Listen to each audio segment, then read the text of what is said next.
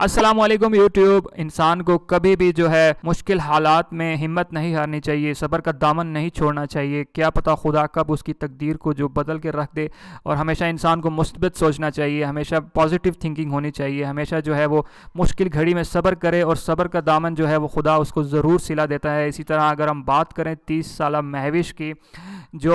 M A इस्लामियात, जिन्होंने master किया हुआ था इस्लामियात में, और वो झाड़ू लगाने पर मजबूर हो गई थी, और अपने घर का पेट पालने के लिए उन्होंने जो है वो झाड़ू लगाना शुरू कर दिया और मुख्तलिफ़ दुकानों पे जो है वो दस या बीस रुपए की उजरत के हिसाब से वो झाड़ू लगा रही थी और इनका जैसे कि इंटरव्यू लिया गया तो इन्होंने कहा कि वो जो है मैं उन्होंने जो है वो इस्लामियात में मास्टर डिग्री हासिल की हुई है और कई साल से जो है वो दफ्तरी, उनको जो है उन्होंने बहुत से जो है इदारों में अप्लाई किया और टेस्ट में पास भी हुई लेकिन क्या हुआ कि उनको इंटरव्यू में जो है वो सिलेक्ट नहीं किया जाता था। और जैसे ही ये वीडियो जो है वो आसमान बुजदार की आँखों के सामने से गुजरी इस, उसी वक्त इस चीज़ का नोटिस लिया और अपने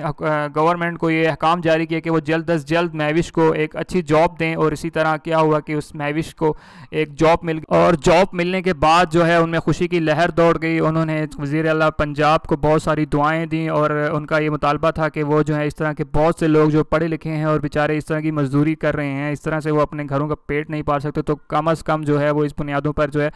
मेरिट की बेस को लेके आएँ ताकि मुल्क में जो है इस तरह के पढ़े लिखे लोग और इस तरह के पढ़े लिखे जो भी जो भी हमारा तबका है, वो कम अज़ कम मेरिट की बेस के ऊपर जो है वो अच्छा रिस्क कमा सके, अच्छी अपनी जॉब कर सके और अपने घर वालों का पेट जो है वो पाल सके क्योंकि माँ बाप जो है इतनी मुश्किल से अपने बच्चों को पढ़ा लिखा के इस इस ख्वाहिश में होते हैं, वो इतना ख्वाब देखते हैं कि पढ़ लिख जाएगा तो हमारा बेटा किसी जॉब करेगा और हमारी जो है वो हमारे घर को संभाल लेगा और ये बहुत से माँ बाप की ख्वाहिश होती है, लेकिन अगर इस तरह का माहौल हो हमारे मुल्क में जहाँ पे जो है करप्शन आम हो, जहाँ पे हर वो पावरफुल आदमी जो है अपनी जॉब ले ले, लेकिन जो गरीब तबका है, जो गरीब बेचारा पढ़ लिख के ऊपर आना चाहता है तो उसको भी जॉब ना मिल सके। तो ये हमारे लिए एक अलमिया की बात है, लेकिन हमेशा इंसान को जो हिम्मत नहीं हारनी चाहिए, हमेशा इंसान को मेहनत करना चाहिए, और आप भी इस चीज़ को अपने दिल में बिठा लेंगे अगर आपने जो चीज़ हासिल करनी है तो उस पर मैं, आप मेहनत करें, उस पर आप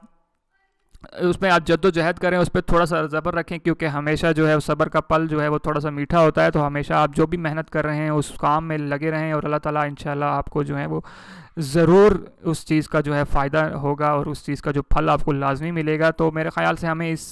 लड़की से जो है थोड़ा सा सबक सीखना चाहिए कि वो बेचारी देखें, एम ए मास्टर करने के बाद भी जो है वो झाड़ू दे रही है, क्योंकि उसने अपने घर वालों को पालना है और अगर हम उसकी जगह पर होते तो हम बोलते कि यार इतना छोटा काम हम क्यों करें, लेकिन आप देख सकते हैं कि खुदा ने उसकी आखिर वो खुदा ने उसकी सुनी और उसको जो है अब गवर्नमेंट में जॉब मिल गई है तो मेरे ख़्याल से जो है ये एक अच्छा इकदाम है हुकूमत की तरफ़ से, लेकिन अच्छा होने के साथ साथ हम इसको बोलेंगे कि ये तो एक उनकी सामने, आँखों के सामने से गुजरा तो तब हुआ, लेकिन इस चीज़ को मेरिट के ऊपर होना चाहिए ताकि हर लोग जो हैं पढ़ लिख के आ रहे हैं, जो जो मेरिट पर आ रहे हैं, उसको कम अज़ कम जॉब मिले और हमारा मुल्क जो है ज़्यादा से ज़्यादा तरक्की कर ले, क्योंकि जब लोग मेरिट पर आएँगे तो ऑटोमेटिकली जो है हमारे यहाँ चीज़ जो है वो एक सही तरफ़ जाएगी, क्योंकि लोगों को पता होगा किस तरह से काम करना है और सारी चीज़ें उन लोगों को पता होगा तो वो एक हर चीज़ को एक प्रोफेशनल तरीके से करेंगे और मुल्क की तरक्की में जो है वो अपना हिस्सा डालेंगे। तो मेरे ख्याल से अगर आपको मैविश के इस इकदाम पे और हुकूमत के इस इकदाम पे अच्छा लगा है या बुरा लगा है या जैसे भी आप कहना चाहें, आप अपनी राय का इजहार कमेंट बॉक्स में लाजमी कीजिएगा और मुझे बताइएगा क्या आप इस बारे में क्या राय रखते हैं और आपके क्या हुकूमत के लिए मशवरा है तो मुझे कमेंट सेक्शन में लाजमी बताइएगा। तो मिलते हैं अगली वीडियो में, तब तक के लिए मुझे इजाज़त दीजिए। अल्लाह हाफिज़।